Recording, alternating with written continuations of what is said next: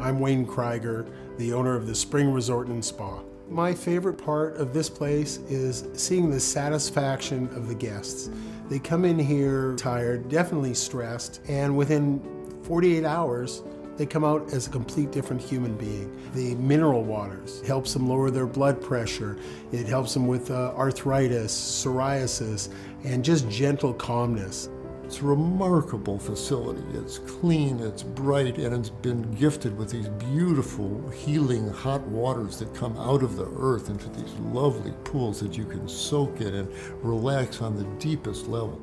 When you walk into this property, the first thing you're going to see is three amazing hot mineral pools. One is a gazebo that has natural water, placid, very peaceful, 101 degrees. We then have our main swimming pool that we keep all year round at about 88 degrees. And finally, we have an outdoor jacuzzi that is our hottest, 104 degrees. You can feel the warm vapors rising off of them. You feel just that you're enveloped uh, by the lovely vibrations and the healing waters.